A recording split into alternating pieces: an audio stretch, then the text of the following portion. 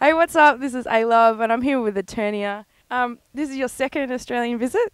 Um, can you tell me a little bit about the purpose why you came out and if it was business or pleasure or both? Um, basically, it was both, but I don't like things to be mostly business, so I like to say both because even my music is personal as much as it's business. And when it just becomes business, then I should stop doing it. So um, I came out to do shows, but to also revisit all my past friends that I hadn't seen in a while. I've been doing a lot of music, I guess. So I've been recording with some people, such as yourself. Uh, I've done three shows so far, three more to go. It's a three week visit, and so one or two shows a week, depending on the week which is good, not too crazy. And um, went to the Sound Summit. So the Newcastle Sound Summit was the main purpose for my visit. Uh, that was cool because a lot of the hip hop heads in the scene were all there at the same time on the same weekend. So it was really good to be able to meet them all at once. And um, the Lyrical Commission show in Sydney was pretty crazy. I opened for them, and that was like five to eight hundred screaming fans, and that was like the best crowd you could ask for, really, in this country. So you just released your mixtape, which is called The Collection. Um, what was the motivation behind it, and how do you think that's been received so far?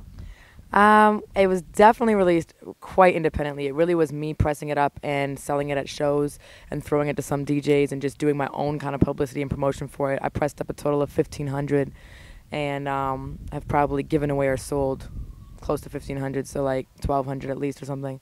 Um, what was the motivation behind it? Well, I had never released anything that was just solely me. I was featured on everything else. So the cover of the album kind of says it all. The cover of the collection, sorry, it's just me surrounded by a bunch of material that I was featured on. So basically, it's like everything previous to the album. So if if you want to be brought up to speed to where Eternia has been, where I've been, that's the collection. Where I'm going is the album that's just about to drop. So that's kind of the vision behind it, and um, I think it was important for people to see the history before they saw the progression your album is going to be released real soon. Can you explain, firstly, a little bit about um, the grant that you got to um, go towards the making of this album?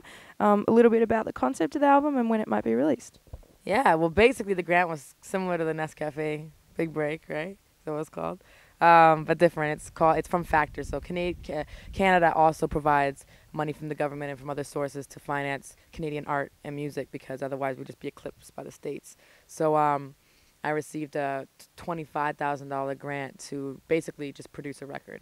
And um, I executive produced it in the sense that creatively I was in charge of the whole thing, but I solicited like six different producers that were Canadian. It took us, well, we worked on it, it, it, we completed it a year ago, so it's one year old or new. Nobody else has heard it. And it took me, I mean, I did the whole thing in less than four months. I recorded it, so tracked it in two months, and mixed and mastered it in a period of like four to eight weeks. So I really am proud of the record, and I think that the feedback has generally been pretty good so far. We've just dropping it this week in Canada, uh, which is October 11th, and then it's coming out, I believe, October 17th across Australia through Shogun Distribution, and that's dope. I feel really good about that whole um, connection to Shogun, and then uh, Double Beef is actually putting out through kind of in, in conjunction with OzHipHop.com a limited edition 250 copies, uh, 45 or 7 inch of the singles. So, and that's only in Australia. Now, last time you recorded um, with myself and a few other people, and you've done it again this time. Um, was it something that was planned, or was it more spontaneous? Both times, definitely spontaneous. I'm I'm the type of person I'm not. I don't think I'm lazy when it comes to my music career, and I like to seize every opportunity. So last time it was just one of those things where these were friends, these are people I was hanging with, and then they're like, basically the week before I'm leaving, and I was here for like five, six months. The week before I'm leaving, I'm like, oh, maybe we should record a track together, and then everyone's recording in the same week, and I'm like, man, this ain't fair.